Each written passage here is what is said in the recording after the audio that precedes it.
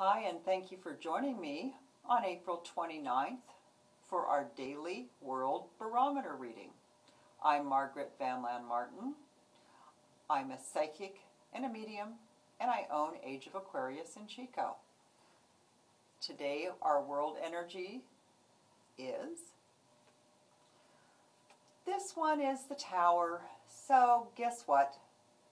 We were busily working on something, thinking everything was just fine, and then whammo, down it goes. And you know what? It's really okay.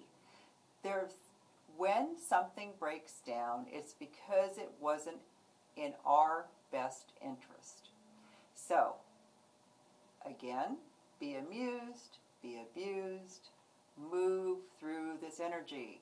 It's okay that it broke down. You didn't need it. All right. Hang in there. See